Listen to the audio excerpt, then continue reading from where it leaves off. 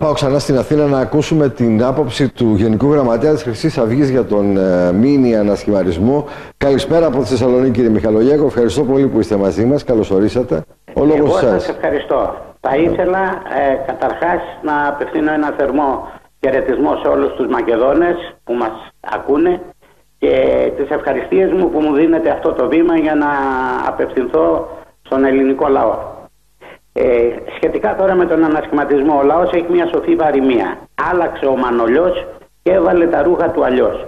Και θα ήθελα επί τους ανασχηματισμού να κάνω δύο παρατηρήσεις. Παρατήρηση πρώτη. Η τοποθέτηση στη θέση του αναπληρωτή Υπουργού του κυρίου Φώτη Κουβέλη. Εγώ είχα αφήσει τον κύριο Φώτη Κουβέλη ως συγκυβερνήτη της χώρας μαζί με το Πασόκ και τη Νέα Δημοκρατία στην κυβέρνηση Σαμαρά Βενιζέλου και τον είχα αφήσει επίσης και ως υποψήφιο πρόεδρο της Δημοκρατίας σύμφωνα με φήμες που είχαν βάσιμες ε, πληροφορίες ε, διαδώσει ότι θα είναι ο πρόεδρος της Δημοκρατίας, της Νέας Δημοκρατίας και του ΠΑΣΟΚ. Και τώρα τον βρίσκουμε αναπληρωτή υπουργό του ΣΥΡΙΖΑ. Αυτά τα πράγματα δεν συμβαίνουν ούτε στο Κογκό, ούτε στη Μαδαγασκάρη, ούτε στην Κολομβία. Μόνο στην Ελλάδα έχουμε αυτές τις μεταγραφές. Οι χώρες αυτές που αναφέρατε είναι αξιοπρεπέστατες. Θυμίζουν, ναι, υπάρχουν και ναι, Και όλοι μας θέλουμε να τις επισκεφτούμε ως τουρίστες κάποια στιγμή. Γιατί, ναι, γιατί τις Οι χώρες είναι αξιοπρεπέστατες. Δεν ξέρω ο δημόσιος βίος τους εάν είναι αξιοπρεπής σε διάφορε περιπτώσει και ίσως να είναι και ατυχές στο παράδειγμα για να μην μας κατηγορήσουν και ως ρατσιστές.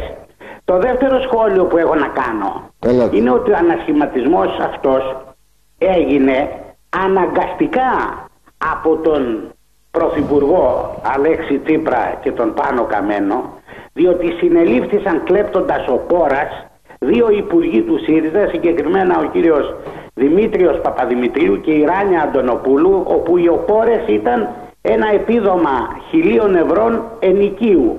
Τη στιγμή που σύμφωνα με την δήλωσή τους του πόθεν έχουν περιουσία εκατομμυρίων δολαρίων.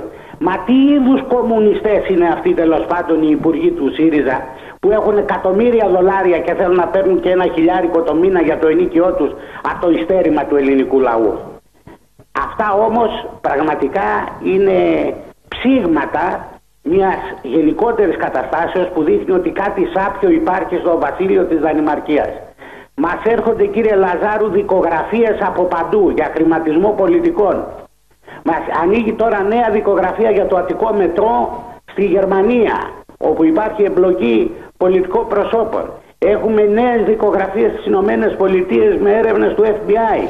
Πού έχουν βυθίσει αυτόν τον τόπο, έχουν αναλογιστεί αυτοί που μας κυβερνούν και μας κυβέρνησαν. Κύριε Μιχαλογιάκο, επειδή τρέχει το θέμα της ονομασίας των Σκοπίων, έκαψαν σημαίες της Ελλάδος στα Σκόπια προχθές το βράδυ. Τρέχει, τρέχει όλη η διαδικασία. Ο Ζάεφ δίνει συνελεύσεις παντού. Παντού. Και ο Γιούγκερ σήμερα αποκάλεσε Μακεδόνες στους Σκοπιανούς λέγοντας ότι το ΦΥΡΟΜ είναι γραφειοκρατικός όρος. Θέλω ένα σχόλιο για αυτό για να κλείσουμε.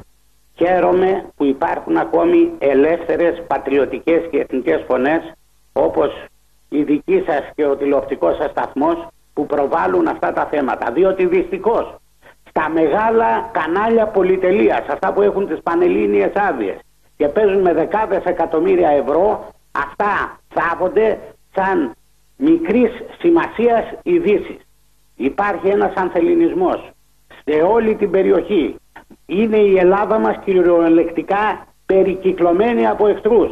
Και την ίδια στιγμή έχουμε κάποιους μηδίσαντες πολιτικούς τους οποίους εμείς αποκαλέσαμε στη Βουλή προδότες και γι' αυτό το λόγο δεχθήκαμε το κατηγορό ολόκληρου του πολιτικού συστήματος αλλά ήλθε και η ανακοίνωση των Παμακεδονικών Ενώσεων που λέει ότι η παραχώρηση του ονόματος Μακεδονία είναι προδοσία. Συμφωνούμε απόλυτα μαζί, του, μαζί τους και θα μείνουμε σταθεροί στη θέση μας. Κανένα συμβιβασμός για τη Μακεδονία μας. Και ό,τι και να υπογράψουν, όπως είπα και στη Βουλή, θα πεταχτεί στον κάλαθο των αχρήστων της ιστορίας. Η Μακεδονία είναι μία, είναι ελληνική και δεν είναι δυνατόν οι Σκοπιανοί ή οποιοδήποτε Σλάβοι να θέλουν να λαιλατίσουν την ιστορία μας, την ψυχή μας, το όνομά μας. Σας ευχαριστώ πάρα πάρα πολύ για την παρέμβαση σας κύριε Μικαλογιακό. Να είστε καλά. Καλό απόγευμα από τη Θεσσαλονίκη. Ευχαριστώ πολύ το Γενικό Γραμματέα.